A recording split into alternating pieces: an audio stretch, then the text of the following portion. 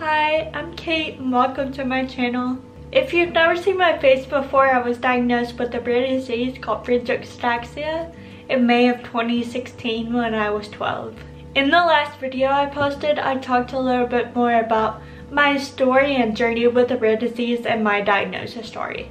Most people have never heard of Friedreich's ataxia or FA because it is so rare, so today I'm going to tell you more about it.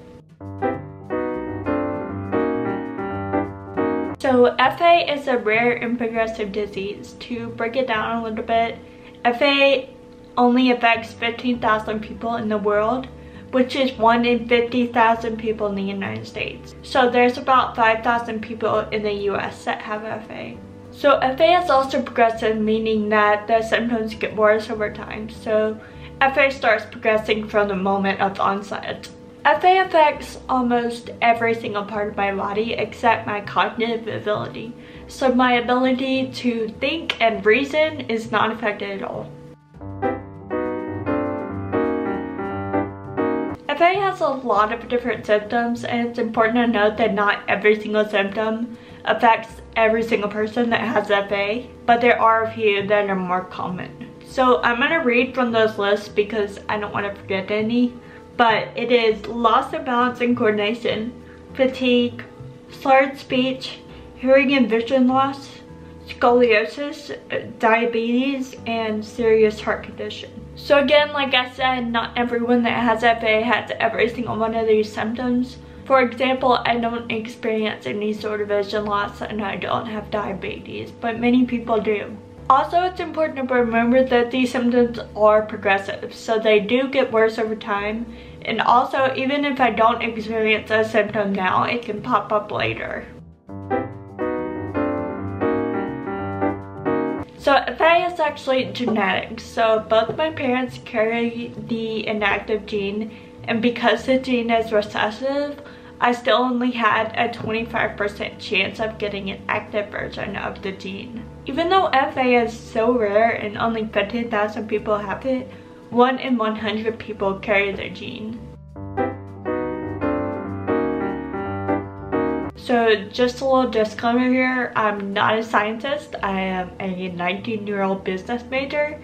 So I'm to do the best I can here to explain. The FA gene DNA mutation causes the limited production of a protein called frataxin.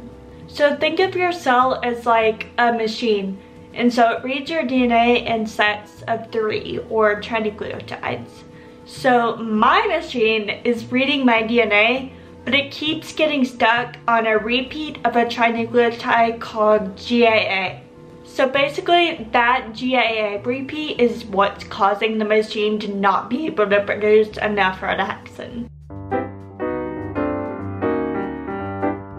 Frataxin is a protein in the mitochondria of the cell. So you might remember from biology in high school that the mitochondria is the powerhouse of the cells, so it produces all the energy your cell needs. Frataxin's job is to help form iron sulfur clusters in the mitochondria of your cell, and apparently iron sulfur clusters are very important. So because my body doesn't form enough frataxin because it keeps getting stuck on the trinucleotide, the iron sulfur clusters never form which causes the mitochondria of my cells to not work properly, which causes my cells to die. Currently, there's no FDA-approved treatment or cure for the symptoms of FA. Scientists are working really hard every single day to find one though, and I really believe that they will find a treatment or cure soon. If you want to see the progress of some clinical trials and research going on, you can go look at the treatment pipeline on the Friedreich's Ataxia Research Alliance website.